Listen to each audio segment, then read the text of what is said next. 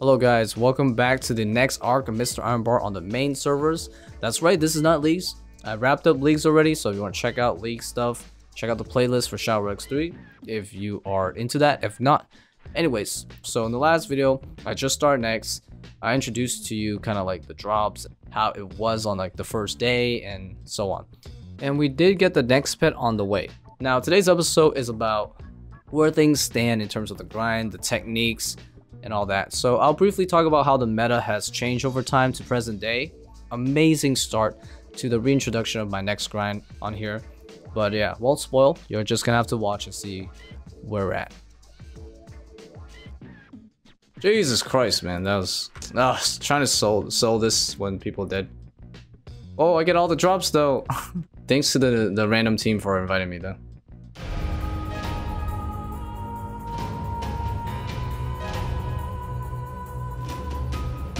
So I'm going to briefly talk about how the meta has evolved over time.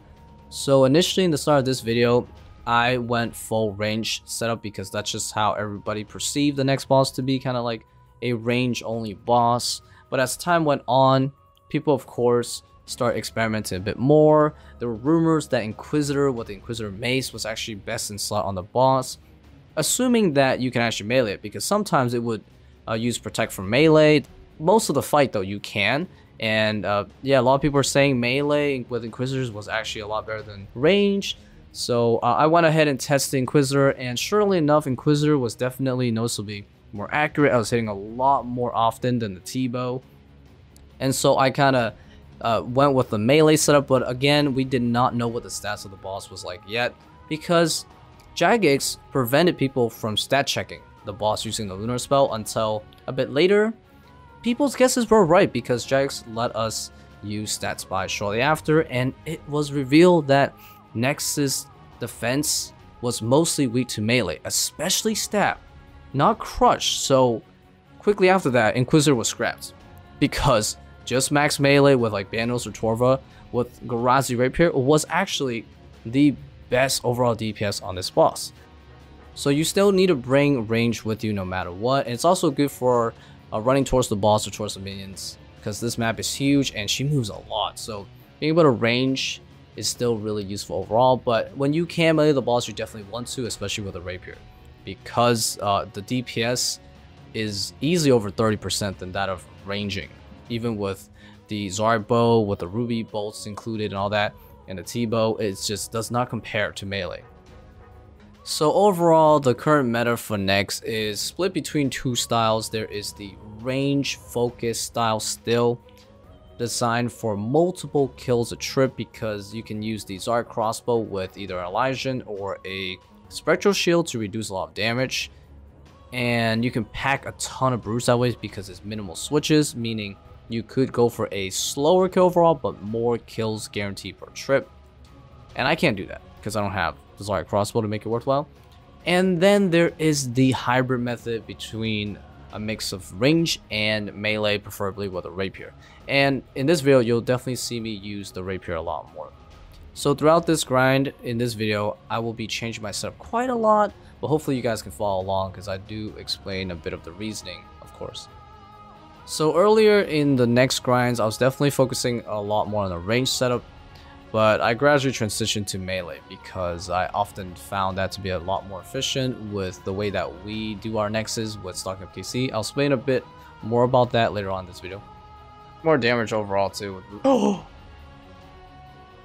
what the foot? I just a, a Zaros God Sword. Oh, okay. If you are enjoying the video so far, definitely give it a like. I would highly appreciate that. And maybe even consider subscribing because there's a lot more coming up for this next arc. You don't want to miss it.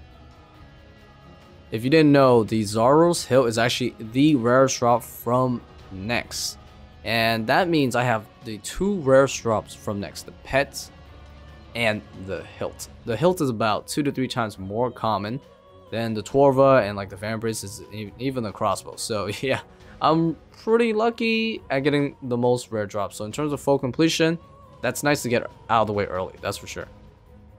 So Nex isn't a soloable boss. There's been one instance where it was solo, like legit, solo by one person from Starfish, but it involved a lot of glitching, and I think it's already patched. And it took like three hours, so yeah, basically it's just not a soloable boss, and that means it is a very team-orientated boss.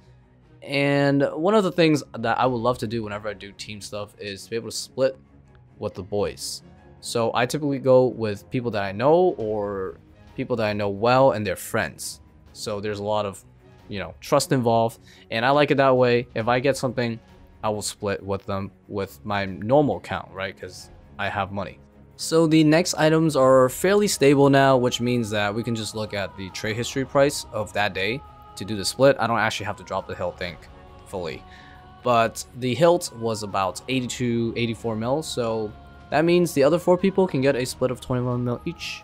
Because I'm keeping the hilt, so I don't get anything. So let's talk about the Zaros God Sword. It is the fifth God Sword to be released after many years apart. And it is aligned with the God of Zaros, of course. And the stats are the same as any other God Sword. But the special attack, of course, is different. It's called Blood Sacrifice. It uses 50% special attack. And when it is activated, its accuracy is double. You get 10% more damage. And if it lands anything higher than a zero, it will heal you for 25 damage. And the target will also take 25 extra damage on top. As long as the target is within 5 tiles of you, when it procs 4.8 seconds later, the healing. So it's a really interesting ability. So this God Sword technically is more consistent at healing your HP than a Sara God Sword, but the Sara God Sword could potentially heal higher, and you also get prayer. But if HP is more important though, I can see the Zaros God Sword being a bit more useful in some situations. I've heard that is actually pretty good at the Nex boss herself. But I didn't get around to experimenting with it enough to really say. So unfortunately, I'm going to have to cover a bit of the uses of the Zaros God Sword in the next video. I'll try my best to test it and talk about it a bit, but not for this video, unfortunately. So next, in the original game, the minions used to drop this thing called the Ancient Ceremonial, and the minions outside would too at a lower rate. And if you had the full Ancient Ceremonial set, you could bypass the KC, which is amazing, and I thought that was going to be the case here, but they decided to not make that a thing. So the ancient ceremonial is more common, I believe, this time around. And yeah, you can just collect it to collect it. And yeah, you get collection log pop up, you know, mini dopamines. Yeah, yeah. But yeah, it doesn't do anything. So I will, you know, try to get them all, but I should be able to just get them by grinding next lot. Since, yeah, I've been getting a bunch of pieces. I'm almost done already. Ooh, ancient ceremonial legs. Dang, I, I haven't even got any dupes. More extra dopamine. Feels good, man. I'll take it. Just like two more pieces or something. I'm going to be stocking up on KC before I even start the session of Nex, just because that will save us uh, from having to re-KC between every trip. And also, it'll allow us to do comfy one kill trips if we have to, if things go bad. And uh, it's more flexible that way, because like, when you go for KC just for one trip, you're kind of forced to try to stay as long as possible. And a lot of times you'll overstay and then we actually don't even get the kill and we just waste time. So stocking up KC like this just allows us to be really flexible. We can do one kill trips, two kill trips, depending on whatever happens, RNG wise or supply wise. And we can just keep coming back over and over again without having to wait for everybody to be KC. So it's just much nicer way of doing it. Preferably though, there could be ways to improve this boss from Jagex' end, but this is the best we can do right now. The benefit of stocking up KC also means that I can bring more switches for the fight to speed up the boss. Because if you just camp range method the whole time, you could go for really long trips, but again, we're not trying to bother with that. So now we're going for fast kills as a focus. So I can actually bring a bunch of melee switches so using a rapier is the highest DPS on the boss available, but there's other times in the fight where you can't melee, so that's why you kind of have to at least bring range. But for this method though, the kills are faster and I don't have to use brews as much for every kill, which is really nice because I can save a lot on brews, save a lot of time prepping brews, and I have so much hard food that, yeah, I can just use that. And the time that I spend making potions will drastically go down. Nice, now we can melee. So in terms of hard food, I'll be using Manta Rays. I have over 10,000 Manta Rays from doing a variety of other bosses like Zulrah and Vorkath that, yeah, I've been meaning to use it for something, and this is a good time to use it. And another benefit to using melee gear for Nex is that you can bypass the blood phase a lot faster, exponentially faster, because that is the phase that slows down the most the smaller your team size gets. And that will add a lot of time so we can blaze through the blood phase and stop it from healing so much, you know, because we're just skipping that phase as fast as we can. Nice. That was fast. Even though I'm bringing a lot of hard food, I can still easily get 2 to 3 kill trips oftentimes because Nex drops a lot of food most of the time, so you can actually just use that to stay. And that means the KC that you stock up actually goes down a lot slower than normal. It's not actually every entry is 30 because you're gaining KC back while you're staying here. So if you can kill the boss like two to three times, you don't really lose KC. So yeah, I guess we don't always have to do one kill trips. If Nex wants to give us a ton of sharks and stuff, we can just stay easily. From my experience so far, it's good to stock up at least around 150 KC because that'll give you a lot of kills and even if you were to die, you won't lose that much of your time because it doesn't take long at all to get like 150 KC. You could be a bit more adventurous and go a bit higher, but it is tilting though if you do die and lose a lot of it. So I'd say about 100 to 200 is a good amount for everybody. Whoa, someone got a Nihil horn. Oh my god, dude. Freaking booty got a Nihil horn. Holy shit. Yo, that's crazy. Damn, we already saw a big drop. Yo, grats, grats. Holy shit. So the Nihil Horn makes the Zaryte crossbow, which is best in slot at Nex. And it's really powerful here because the Ruby specs does a lot of work. You can spam it quite often throughout the fight because it is a fairly long fight. And yeah, 110 damage with rubies every 75%. But uh, we did get a split off of that. Uh, the bow was around like 450 to 500 mil. So yeah, we gain about uh, close to 100 mil uh, per person there. Nice. Damn, I barely use food. Holy shit. That's crazy. this one kill, I, I used one dose brew and like hella mantas, bro. Holy shit. Wait, wait, wait, you guys, uh, oh, everyone's teleporting. Oh no! I use like no food. Because apparently, tassets give me a max hit with the Vine Pots in this setup. So we're gonna, we're gonna bring the tassets bin the Pagations then. Because that extra max hit is constant since I'm Divine Potted for 90% uh, to kill. Actually, like the whole time, because then my fresh super combat will last all the way too. Ouch. oh my god! Torva full helm! What? Oh my god, we just got Torva, dude. What? Holy shit, we just got Torva. Dude, two two days. What? That's crazy. Holy shit. That's crazy. That's the best install right here at this place. Right right here, right now. Holy shit.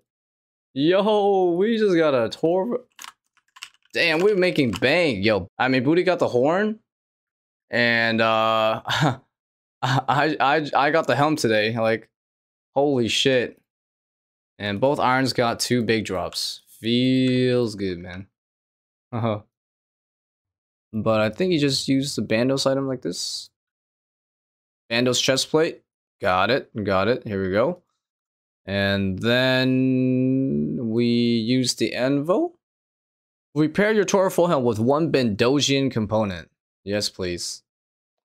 How much uh, XP do I get for this? Yes. Oh, 2.7k. Woo, baby. All right, let's look at the strength bonus. It should give me an extra... What? This thing gives an extra two. That's insane. Wow, that's actually crazy. Damn, this thing gives an extra two. Two strength bonus? Holy shit. That's actually insane. Over over the uh, face guard. Oh my god. Wow. Well, that's a really good upgrade. Holy crap, man. Like we we are gonna use this like everywhere, pretty much mainly. Jeez, that's I guess is one of the best ones to get first for Torva. So we're definitely feeling the luck right now. All right, the rest of this uh, I can make the other Torva, I guess. Oh, 56 with the uh, Zaros Godsword. Let's go. Followed by the 25 HP heal back to me. The Spare Rune Javelins, though? Okay. Holy shit, did we just... Whoa, whoa, holy shit. We skipped it without even a single reaver. Holy shit, dude, that was crazy.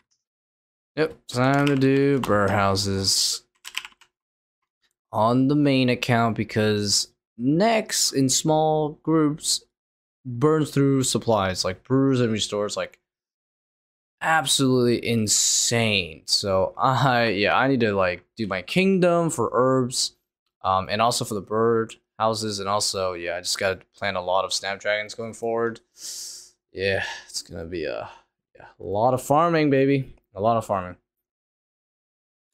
all right, just auto crush a bunch of crushed nests. So that means we're pretty much ready to make more brews.